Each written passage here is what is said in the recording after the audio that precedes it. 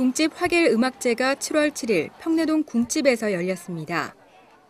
이날 음악회는 평내동에서 추진 중인 마을 가꾸기 사업의 성공을 기원하고 주민들의 참여와 관심을 이끌어내기 위해 개최됐습니다. 남양주시 평내동에 위치한 궁집은 영조의 딸 화길옹주가 시집갈 때 영조가 지어준 집으로 이번 평내동 마을 가꾸기 사업인 소품 구경길에 포함됐습니다. 그동안 일반인에게 개방되지 않았지만 평내동 주민자치위원회의 노력으로 이번에 주민들에게 특별 개방된 것입니다. 사업의 경과 보고 및 계획 소개에 이어 본격적인 음악제가 시작됐습니다. 사물놀이와 대금 연주, 플롯과 해금 등 다양한 장르의 악기들이 연주되었고 아카펠라와 성악 무대도 이어졌습니다.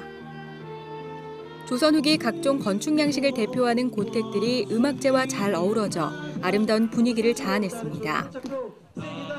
남양주시는 평내동의 소중한 문화자산인 궁집을 평내 소풍 구경길에 접목하여 누구나 찾고 싶은 둘레길을 만들겠다고 밝혔습니다.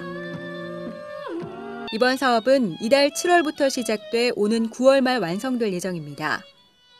지역 주민들의 관심과 사랑으로 소중한 문화자산 보존과 더불어 마을 발전도 이룰 수 있길 바랍니다.